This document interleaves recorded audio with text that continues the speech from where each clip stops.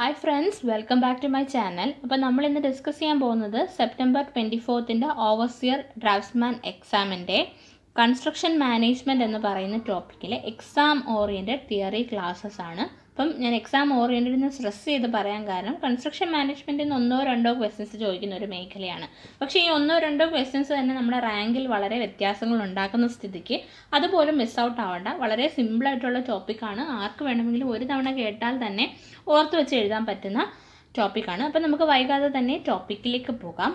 അപ്പം ആദ്യം കൺസ്ട്രക്ഷൻ മാനേജ്മെന്റിലൊക്കെ കടക്കുന്നതിന് മുന്നേ നമുക്ക് ഓരോ ഒരു ബിൽഡിങ്ങിലെ പല വർക്കുകളുണ്ടല്ലോ ആ വർക്കുകളിൽ ആവറേജ് കോസ്റ്റ് നമ്മുടെ ടോട്ടൽ കോസ്റ്റിന്റെ എത്ര ശതമാനമാണെന്ന് നോക്കാം. അപ്പോൾ ഇത് വളരെ ഇമ്പോർട്ടന്റ് അല്ല. ചോദിച്ച് കണ്ടിട്ടില്ല. ഞാൻ ജസ്റ്റ് പറയുന്നു എന്ന് മാത്രം. Foundation ten to fifteen percentage ആണ്. Walls stairs and roofs thirty to forty percentage ആണ്. Flooring ten to twenty percentage ആണ്. Doors and windows twelve to eighteen percentage ആണ്. Finishing eight to twenty percentage and waterproofing eight to twelve percentage അപ്പോൾ ഇങ്ങനെയാണ് ഓരോ type of വർക്കിന്റെ അല്ലെങ്കിൽ ഓരോ works at various levels എന്നാണ് പറയപ്പെടുന്നത്. പെർസെന്റേജ് എന്ന് പറയുന്നത് ടോട്ടൽ കോസ്റ്റിന്റെ ഓക്കെ ആവറേജ് കോസ്റ്റാണ് ഇത് എന്ന് പറയുന്നത്. അപ്പോൾ ഇതാണ് ആദ്യമായിട്ട് പറയാനുള്ള കാര്യം. അപ്പോൾ ഇത് അത്ര ഇങ്ങനെ കോമൺ ആയിട്ട് ചോദിക്കുന്ന ഒരു പോർഷനൊന്നുമല്ല പക്ഷേ ഞാനിത് വേറൊരു വീഡിയോയിൽ ഇൻക്ലൂഡ് ചെയ്യാതെ ഇതിനകത്ത് ഇൻക്ലൂഡ് ചെയ്ത് പറഞ്ഞു എന്ന് മാത്രം. ഓക്കെ അപ്പോൾ ഇനി നമുക്ക് കൺസ്ട്രക്ഷൻ മാനേജ്മെന്റിലേക്ക് കടക്കാം. അപ്പം നമുക്ക് പ്രൊജക്റ്റ് മാനേജ്മെന്റ് അഥവാ പ്രൊജക്ട് പ്രൊജക്ട് മാനേജ്മെന്റ് എന്ന് പറയുന്നത് വളരെ ടീഡിയസ് ആയിട്ടുള്ളൊരു ജോബാണ് അപ്പോൾ അതിലേക്ക് നമുക്ക് സഹായിക്കുന്ന രണ്ട് ടൂൾസ് ആൻഡ് ടെക്നിക്സ് എന്ന് പറഞ്ഞു കഴിഞ്ഞാൽ ബാർ ചാർട്ട്സ് ആൻഡ് മൈൽ സ്റ്റോൺസും മൈൽ സ്റ്റോൺ ചാർട്ട്സും പിന്നെ അതുപോലെ തന്നെ നെറ്റ്വർക്ക് മെത്തേഡ്സുമാണ് ഈ bar charts and milestone charts എന്ന് പറയുന്നത് വളരെ പഴയ മെത്തേഡാണ് ഇപ്പോൾ കൂടുതൽ ഉപയോഗിക്കുന്നത് നെറ്റ്വർക്ക് മെത്തേഡ്സ് ആണ്. അപ്പോൾ ഇതെന്താണെന്നും ഇതിന്റെയൊക്കെ ഡീറ്റെയിൽസും ഞാൻ വരുന്ന സ്ലൈഡുകളിൽ പറയുന്നുണ്ട്. അപ്പം നമുക്ക് ആദ്യമായി bar charts and milestone charts എന്താണെന്ന് ഇനി നമുക്ക് bar charts and milestone charts എന്താണെന്ന് നോക്കാം. നിങ്ങൾ ബാർ ഡയഗ്രാം ചെറിയ ക്ലാസ്സിൽ പഠിച്ചിട്ടുണ്ടാകും അല്ലേ?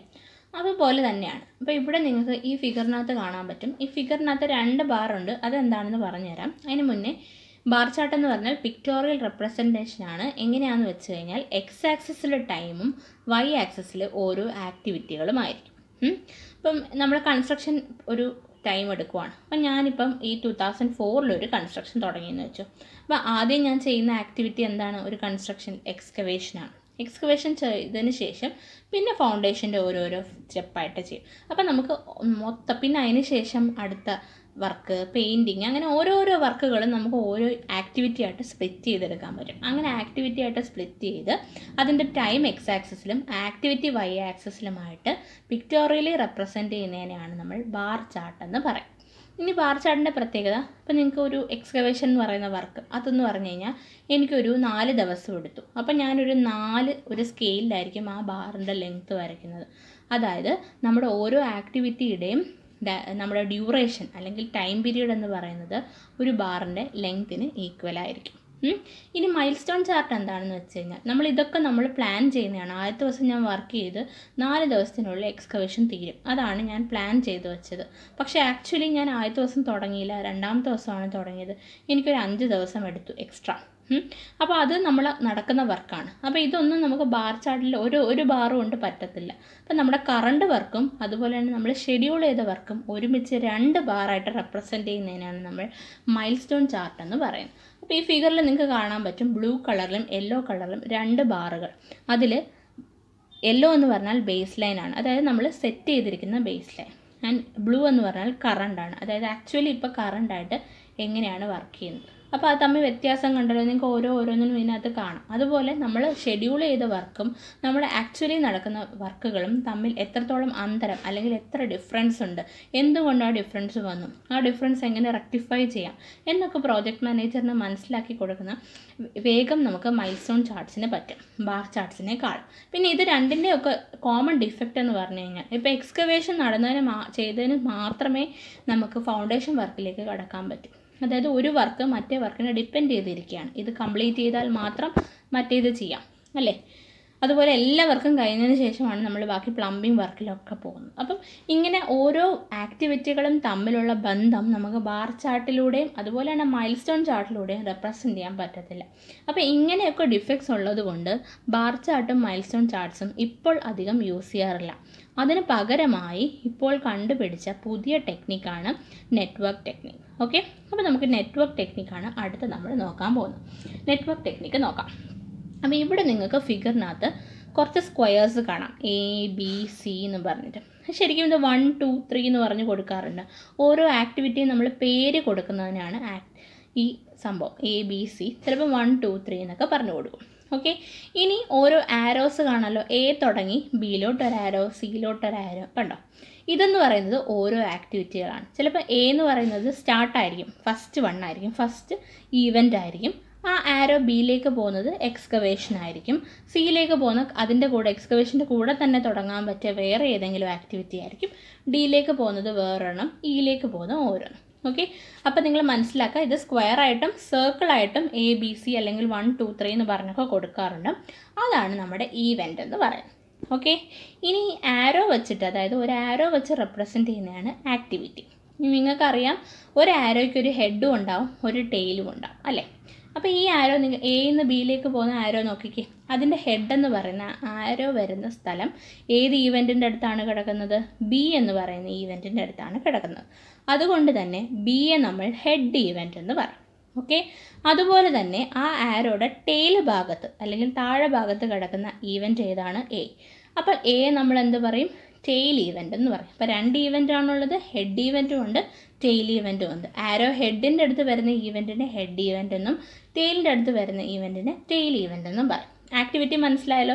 ആക്ടിവിറ്റി എന്ന് പറഞ്ഞാൽ നമ്മുടെ എക്സ്കവേഷൻ വരാം പെയിന്റിങ് വരാം എന്ത് നമ്മുടെ വർക്കിനകത്ത് വരുന്ന ആക്ടിവിറ്റി ആരോയിലാണ് നമ്മൾ റെപ്രസെന്റ് ചെയ്യുന്നത്. ഇനി ആരോയുടെ മുകളിൽ ഒരു നമ്പർ എഴുതി കാണിക്കും. ആ നമ്പർ എന്ന് പറഞ്ഞാൽ അതിന് വേണ്ട ഡ്യൂറേഷൻ അതായത് നാല് ദിവസമെങ്കിൽ നാല് ദിവസം പത്ത് ദിവസമെങ്കിൽ പത്ത് ദിവസം അത് മുകളിൽ എഴുതി കാണിക്കും. അത് ഈ ഫിഗറിൽ കാണിച്ചിട്ടില്ല. അപ്പോൾ നിങ്ങൾക്ക് ഇവിടെ കാണാൻ പറ്റും. ഫസ്റ്റ് ഈവന്റിൽ നിന്നും ഒരുപാട് ഈവന്റുകളിലേക്ക് പോകുന്നുണ്ട്. അപ്പം ഒരു ആരോ അതായത് ആരോ എന്ന് പറഞ്ഞാൽ ആക്ടിവിറ്റിയാണ് ആ ആക്ടിവിറ്റി തീരുന്നിടത്താണ് എന്ത് വരുന്നത്? ഈവന്റ് അപ്പോൾ അത് ഓർത്ത് വെക്കുക. ആക്ടിവിറ്റി തീരുന്നിടത്ത് നിന്ന് അല്ലെങ്കിൽ തുടങ്ങുന്നിടത്താണ് എന്തുള്ളത്? ഈവന്റ് ഉള്ളത്. അപ്പോൾ നമുക്ക് ഡെഫിനിഷൻസിലേക്ക് പോവാം. ആദ്യത്തെ എന്ന് വെച്ചാൽ ആക്ടിവിറ്റി ഞാൻ പറഞ്ഞല്ലോ ആക്ടിവിറ്റി എന്ന് പറഞ്ഞാൽ it's actual performance of the task it is a work required to complete a specific event ആണ് കേട്ടോ. അതായത് ഒരു ഈവന്റ് കംപ്ലീറ്റ് ചെയ്യാൻ വേണ്ടി നേരത്തെ ഫിഗർ നോക്കിയാൽ മതി. ഒരു ഈവന്റ് കംപ്ലീറ്റ് ചെയ്യാൻ വേണ്ടിയിട്ട് നമ്മൾ ചെയ്യുന്ന ഒരു വർക്കിനെയാണ് നമ്മൾ എന്ത് പറയുന്നത്? ആക്ടിവിറ്റി അതായത് വൺ എന്ന് പറയുന്ന ഈവന്റ് അല്ലെങ്കിൽ നമ്മൾ പിന്നെ ഇവിടെ നോക്കിയിട്ട് എ എന്ന് പറയുന്ന ഈവന്റ് ഉണ്ട് ബി എന്ന് പറയുന്ന ഒരു ഈവന്റ് ഉണ്ട്. അപ്പോൾ അതായത് ഈ ഈവന്റ് കംപ്ലീറ്റ് ചെയ്യാൻ വേണ്ടി നമ്മൾ ചെയ്യുന്ന വർക്കിനെയാണ് നമ്മൾ എന്ത് പറയുന്നത്? ആക്ടിവിറ്റി എന്ന് പറയുന്നത്. ഓക്കെ ഇനി അടുത്തൊന്ന് ഈവന്റ് ആണ്. ഈവന്റ് ഞാൻ നേരത്തെ പറഞ്ഞായിരുന്നു. ഒന്നെങ്കിൽ the commencement or completion of an activity activity arrow ആണല്ലോ. ആരോടെ സ്റ്റാർട്ടിലും ഒരു ഈവന്റ് ഉണ്ടാവും എൻഡിലും ഒരു ഈവന്റ് ആവും. അതായത് ഒരു സ്റ്റാർട്ടിങ് ഒരു ആക്ടിവിറ്റിയുടെ സ്റ്റാർട്ടിങ്ങോ അല്ലെങ്കിൽ ആക്ടിവിറ്റിയുടെ എൻഡിനെയോ ആണ് നമ്മൾ എന്ത് പറയുന്നത്? ഈവന്റ് എന്ന് പറയും. ഇനി ഈവന്റ് തന്നെ ഞാൻ നേരത്തെ പറഞ്ഞല്ലോ രണ്ടെണ്ണം ഉണ്ട് ടെയിൽ ഈവന്റും ഉണ്ട് ഹെഡ് ഈവന്റും ഉണ്ട്. അതായത് ആക്ടിവിറ്റി തുടങ്ങുന്നതിനെയാണ് നമ്മൾ എന്ത് പറയുന്നത്? ടെയിൽ ഈവന്റ് അതുപോലെ തന്നെ ആക്ടിവിറ്റി എൻഡ് ചെയ്യുന്നതിനാണ് നമ്മൾ എന്ത് പറയുന്നത് ഹെഡ് ഇവന്റ് അതൊന്നും ആക്കി കൺഫ്യൂസ്ഡ് ആവണ്ട. നിങ്ങൾക്കറിയാം ഒരു ആരോ എന്ന് പറയുന്നത് എന്താണ്? ആക്ടിവിറ്റിയാണ് ആ ഒരു ആരോ മനസ്സിൽ കാണാം. ആ ആരോടെ ആരോ വരുന്ന ഭാഗമാണ് ഹെഡ് ആരോ ഇല്ലാത്ത ഭാഗമാണ് എന്ത്? ടെയിൽ അപ്പോൾ നിങ്ങൾക്കറിയാം ടെയിലിലും ഒരു ഈവന്റ് ഉണ്ട് ഹെഡിലും ഒരു ഈവന്റ് ഉണ്ട് അല്ലേ? ടെയിലിലുള്ള ഈവന്റ് എന്ന് പറയുന്നത് ആക്ടിവിറ്റി തുടങ്ങുന്നതിന് മുന്നേ ഉള്ളതാണ് അല്ലേ? ആക്ടിവിറ്റി തുടങ്ങണമെങ്കിൽ ആ ആരോ ഇല്ലാത്ത ഭാഗത്തല്ലേ? അവിടെ വരുന്നതാണ് എന്ത്? ടെയിൽ ഈവന്റ് അതുപോലെ തന്നെ ആക്ടിവിറ്റി എൻഡ് ചെയ്യുന്നിടത്തുള്ളതാണ് ഹെഡ് ഈവന്റ് അത് തന്നെയാണ് ഈ പറയുന്നത്. ടെയിൽ ഈവന്റ് എന്ന് പറഞ്ഞാൽ which marks the beginning of an activity അതായത് ആ ആരോ മനസ്സിൽ കാണുക. ആ ആരോ തുടങ്ങുന്ന സ്ഥലത്ത് വരുന്ന ഏതാണ്? ടെയിൽ ഈവന്റ് ആണ്. ആരോ തീർന്ന സ്ഥലത്ത് അതായത് ആ ആരോ ഹെഡ് വരുന്ന സ്ഥലത്ത് വരുന്ന ഏതാണ്? ഹെഡ് ഈവന്റ് ആണ്. Is the one which marks a completion of an activity ഇനി അടുത്തെന്ന് പറഞ്ഞാൽ ആണ്. ഡമ്മി എന്ന് പറഞ്ഞു കഴിഞ്ഞാൽ ശരിക്കും പറഞ്ഞാൽ നമ്മൾ ഡോട്ടഡ് ലൈൻ ഇട്ടിട്ടാണ് റെപ്രസെന്റ് ചെയ്യുന്നത്. അതെന്ന് പറഞ്ഞാൽ ശരിക്കും ഒരു റിസോഴ്സസോ ടൈമോ ഒന്നും വേണ്ടാത്ത ഒരു ആക്ടിവിറ്റിയാണ് ശരിക്കും നമ്മളത് നെറ്റ്വർക്ക് കംപ്ലീറ്റ് ചെയ്യാൻ വേണ്ടിയിട്ട് അല്ലെങ്കിൽ ഒരു കണക്റ്റിംഗ് ലിങ്ക് ആയിട്ട് നമ്മൾ വരയ്ക്കാൻ എളുപ്പത്തിന് കൊടുക്കുന്ന ഒരു ആക്ടിവിറ്റിയാണ് അപ്പോൾ ഇത്ര അറിഞ്ഞാൽ മതി. Operation in the network which net requires neither any time no resources ടൈമോ റിസോഴ്സസോ വേണ്ടാത്തതിനെയാണ് എന്ത് പറയുന്നത്? ഡമ്മി എന്ന് പറയുന്നത്. ഇനി നമുക്ക് കുറച്ച് ടേംസ് കൂടി ഉണ്ട്. ഞാൻ നേരത്തെ പറഞ്ഞല്ലോ കുറച്ച് ഡ്യൂറേഷൻ ആ ആരോടെ മുകളിൽ നമ്മൾ ഡ്യൂറേഷൻ അഥവാ നമ്മുടെ ആക്ടിവിറ്റിക്ക് വേണ്ട ടൈം എഴുതി വെക്കും. ഇനി അതിനകത്ത് വരുന്ന ആദ്യത്തെ ടൈം എന്ന് പറഞ്ഞാൽ ഏർലിയസ്റ്റ് ഈവന്റ് ടൈം ഓക്കെ പേരിൽ തന്നെ ഉണ്ട് the time at which an activity can be completed earliest and depend upon the completion of preceding activity ഒന്നുമില്ല. ഏർലിയസ്റ്റ് ഈവൻ ടൈം അതായത് എത്ര നേരത്തെ നമുക്കൊരു ആക്ടിവിറ്റി തീർക്കാൻ പറ്റും. അതായത് ഇപ്പോൾ അഞ്ച് ദിവസം കൊണ്ട് തീരേണ്ടതാണ്. പക്ഷേ മൂന്ന് ദിവസം കൊണ്ട് മാക്സിമം നേരത്തെ നമുക്ക് തീർക്കാം. അതായത് ഒരു ആക്ടിവിറ്റി എത്രത്തോളം നേരത്തെ നമുക്ക് തീർക്കാൻ പറ്റും എന്നുള്ളതിനെയാണ് ഏർലിയസ്റ്റ് ഈവൻ ടൈം എന്ന് പറയുന്നത്. അപ്പോൾ ഈ ആക്ടിവിറ്റിക്ക് തൊട്ട് മുന്നേ ആക്ടിവിറ്റി നേരത്തെ തീർന്നാലല്ലേ ഇത് കുറച്ച് മുന്നേ തുടങ്ങി നേരത്തെ തീർക്കാൻ പറ്റും. അതാണ് പറഞ്ഞിരിക്കുന്ന depends upon the completion of the preceding activity അതായത് മുന്നേ ഉള്ള ആക്ടിവിറ്റീസ് എങ്ങനെ കംപ്ലീറ്റ് ആവുന്നോ അതിനെ ഡിപ്പെൻഡ് ചെയ്താണ് ഏർലിയസ്റ്റ് ഈവൻ ടൈം വരുന്നത് അപ്പോൾ ഏർലിയസ്റ്റ് ഈവൻ ടൈമിന് എത്ര നേരത്തെ നമുക്ക് കംപ്ലീറ്റ് ചെയ്യാൻ പറ്റും? ഇനി അടുത്തതെന്ന് പറഞ്ഞാൽ ലേറ്റസ്റ്റ് ഫിനിഷ് ടൈം അതും പേരിൽ തന്നെയുണ്ട്. എത്രത്തോളം വൈകി അതായത് നമുക്ക് ഒരു ആക്ടിവിറ്റി ഇപ്പോൾ ഒരു മൂന്ന് ദിവസം കൊണ്ട് തീർക്കേണ്ടതാണെങ്കിലും ഒരു ബഫറിംഗ് ആയിട്ട് ഒരു രണ്ട് ദിവസം കൂടെ കൊടുത്ത് അഞ്ച് ദിവസം മൊത്തത്തിൽ നമുക്ക് ടൈം ഉണ്ടാകും അതായത് എത്രത്തോളം നമുക്ക് വൈകി വൈകിപ്പിക്കാൻ പറ്റും ഇതിന് ഈ ആക്ടിവിറ്റിയെ പ്രൊവൈഡഡ് നമുക്കത് പ്രൊജക്റ്റിൽ ഡിലേ ഒന്നും ഉണ്ടാക്കരുത്. അതായത് latest time by which an activity should be completed to avoid any delay in the project അതായത് എത്രത്തോളം നമുക്ക് ലേറ്റ് ആയിട്ട് ഒരു ആക്ടിവിറ്റി കംപ്ലീറ്റ് ചെയ്യാൻ പറ്റും നമ്മുടെ പ്രൊജക്റ്റ് ഡിലേ ആക്കാതെ. ഓക്കെ ഇനി അടുത്ത സ്ലാക്ക് അല്ലെങ്കിൽ ഫ്ലോട്ടാണ് അതായത് ഇപ്പോൾ നമ്മൾ നേരത്തെ പറഞ്ഞ ഏർലിയസ്റ്റ് ഫിനിഷ് ടൈമിന്റെയും ലേറ്റസ്റ്റ് ഫിനിഷ് ടൈമിന്റെയും ഡിഫറൻസ് ആണ്. Difference between latest finish time and earliest finish ടൈമിനെയാണ് നമ്മൾ സ്ലാക്ക് അഥവാ ഫ്ലോട്ട് എന്ന് പറയുന്നത്. ഇനി അടുത്തൊരു ഇമ്പോർട്ടന്റ് കാര്യം an activity is called critical എപ്പോഴാണ് ക്രിട്ടിക്കൽ എന്ന് പറയുന്നത്? ടോട്ടൽ ഫ്ലോട്ട് സീറോ ആകുമ്പോഴാണ്. ഇനിയാണ് വളരെ ഇമ്പോർട്ടന്റ് ആയിട്ടുള്ളത്.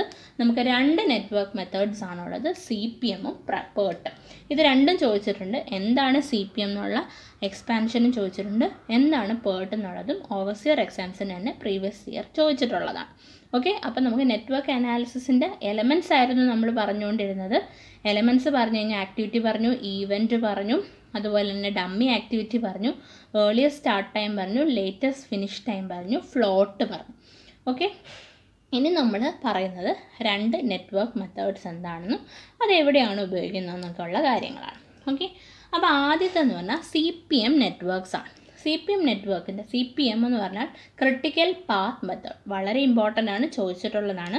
ഇത് സി പി എം മെത്തേഡ് എന്ന് പറഞ്ഞു കഴിഞ്ഞാൽ സി പി എം നെറ്റ്വർക്ക് എന്ന് പറഞ്ഞാൽ ക്രിട്ടിക്കൽ പാത്ത് മെത്തേഡാണ് സി പി എം എന്ന് പറയുന്നത്.